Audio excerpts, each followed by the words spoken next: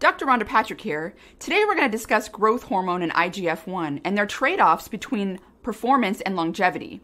Growth hormone is secreted by the pituitary gland and acts on the liver to produce IGF 1. Many of the growth promoting effects that are associated with growth hormone are actually mediated by IGF 1. Growth hormone and IGF 1 enhance performance, and here's how. IGF 1 is anabolic in that it enhances the growth and repair of skeletal muscle.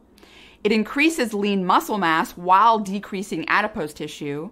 IGF 1 acts as a neurotrophic factor in the brain by increasing neurogenesis. That's the growth of new brain cells. There are a couple of ways you can effectively increase your growth hormone levels. Strenuous exercise has routinely been shown to boost growth hormone levels. However, we can become acclimated to, to strenuous exercise and not release as much growth hormone over time. Sauna therapy, a 30 minute sauna session, has been shown to cause a rapid and robust boost in growth hormone levels. There is an age related decline in growth hormone and IGF 1 levels that has been shown to cause muscle atrophy as well as neuronal loss. However, so why wouldn't you want to boost your growth hormone and IGF 1 levels? Now, here comes the trade off. In mice, in worms, and in flies, decreasing IGF 1 and growth hormone levels leads to a 50% extension in lifespan. Well, that's mice and worms, so what about humans? Well, polymorphisms that are associated in the IGF 1 receptor gene, which decreases the IGF 1 levels, is associated with the longevity in centenarians. Reducing the expression of IGF 1 levels have been shown to increase the expression of genes involved in stress resistance, particularly oxidative damage. There are some downsides, including stunted growth, reduced fertility, uh, brain atrophy and muscle atrophy, and diminished sex drive.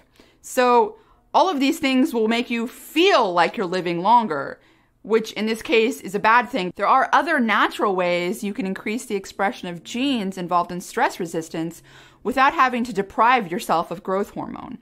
Hormesis boosts the expression of antioxidant genes through exposing yourself to something that would otherwise be toxic. In fact, this is the mechanism of action of catechins and polyphenols.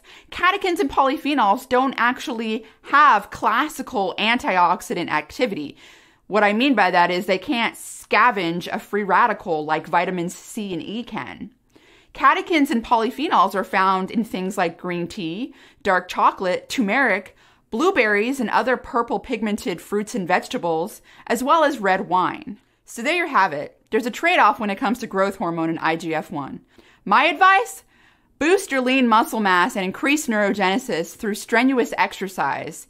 Increase the expression of your genes that are involved in stress resistance by consuming your favorite polyphenols, along with a healthy, balanced diet, and leave the caloric restriction